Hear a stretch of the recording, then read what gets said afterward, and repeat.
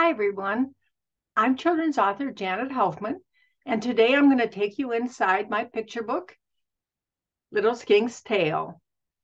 Little Skink's Tail is a fiction picture book for ages three to eight, and it was illustrated by Laurie Allen Klein and is published by Arbordale Publishing.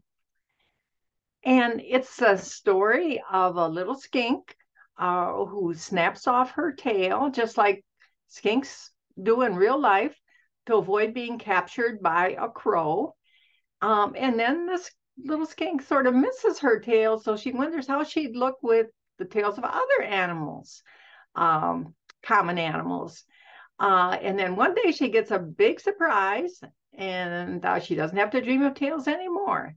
Uh, and this book encourages children uh, to be happy with themselves as they are. And I'm going to take you inside the book. So here she is. Um, she's just snapped off her tail. There's her tail. Uh, and she's safe. She's going going to the crack in a log quicker than the crow could blink. Little skink snapped off her bright blue tail.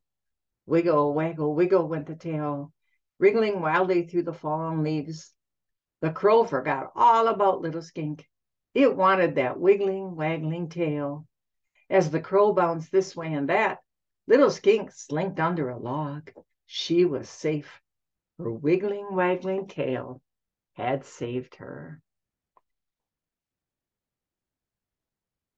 And then she's missing her tail, and a rabbit comes along. As little skink lay basking and thinking, a cottontail rabbit hopped in front of her rock. Hmm, I wonder how I'd look with a tail like that, little skink thought. She pictured her new look. Very cute, she thought to herself, but too puffy fluffy. She also considered a skunk. A skunk's tail. Phew, said little skink. Stinky, stinky, stinky. She also considered an owl, an owl's tail. A lizard with feathers? she exclaimed. I don't think so. And then one day, Little Skink got a big surprise. And you'll have to read the rest of the book to find out what her surprise was. And at the same time that Little Skink is being surprised in this book, there's a surprise for the kids in this book. The artist uh, added another animal that changes all through the book. Uh, it's a little hard to find, but um, but if you if you look and if you have someone reading it with you, they can help you look, and I'm sure you'll find it. I wanted to show you the back matter. I forgot. At the end of the book, there's also uh, lots of fun activities to extend the book.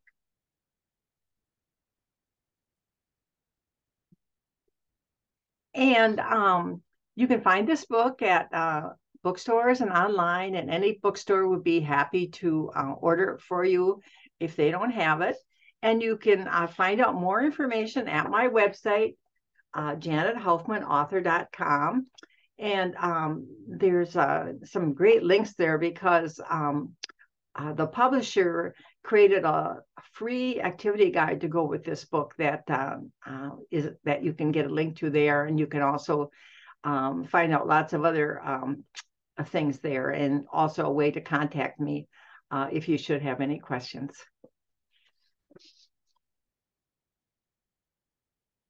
So thanks for listening, and happy reading.